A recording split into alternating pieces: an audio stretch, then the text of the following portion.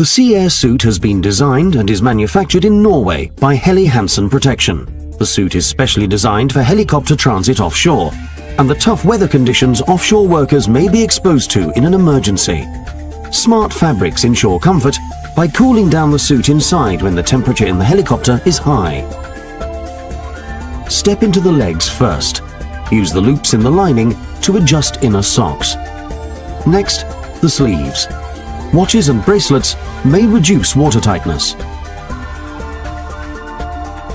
The boots are soft and comfortable in all situations. Pull the zip all the way up to the stopper. The suit's watertight cuffs leave your hands free until you are in the sea. Put the gloves on like this. Remember to pull the zip all the way up.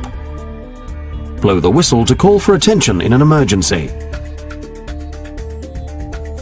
The buddy line has a floating snap hook pulled out by the 1.5 meter long line. This can be hooked onto your colleague.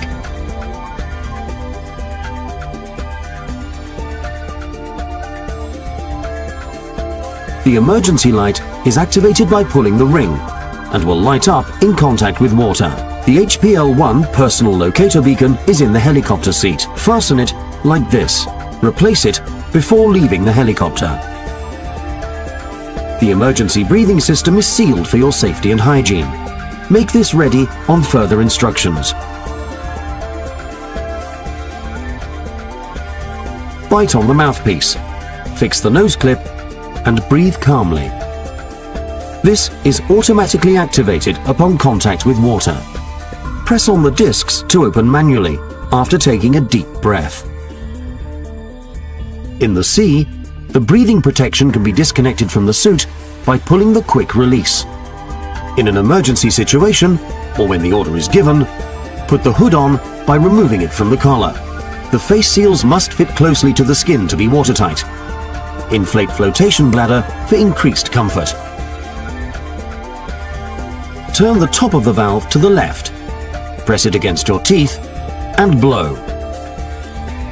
The splash shield is released by pulling the string forwards and upwards. The Velcro hook and loop attachment will make sure it stays in place. More information is available at the handout desk. Study the user instructions carefully before you go.